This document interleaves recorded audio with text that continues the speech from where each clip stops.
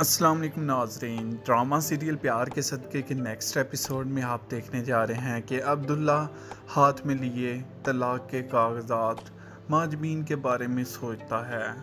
सोचता है कि उसकी शरारतें और उसका प्यार। ऐसे ही में माजबीन उसके पास बैठी होती है और उसे कहती है, मैं तो हूँ ही बंदर, जिस पर वो कहता है, नहीं, तुम तो चीता हो। और दूसरी जानब आप देखेंगे कि अब्दुल्ला काफ़ी परेशान है कि क्योंकि अब माजबीन उसकी ज़िंदगी से जा रही है और उसकी माँ वशमा को थप्पड़ लगाती है, क्योंकि वशमा माजबीन के बारे में ही बातें करती है।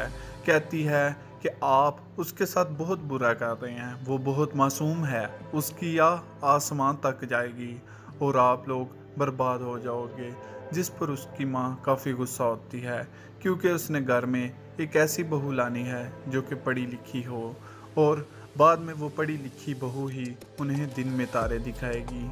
और दूसरी जानब आप देखेंगे कि सर्वर जो है माजबीन की जानब जाता है और उससे काफ़ी बातें करता है। उसके करीब जाके कहता है कि तुम्हें मेरे साथ चलना है। जिस पर माजबीन राज़ी तो नहीं होती, लेकिन फिर वो दोबारा से कहता है कि तुम्हें मेरे साथ चलना है क्योंकि ये माँ का ऑर्डर है। जिस पर माजबीन उसे कहती है कि वाकई माँ का ऑर्डर है। जिस पर वो कहता है हाँ तुम्हें मेरे साथ चलना होगा।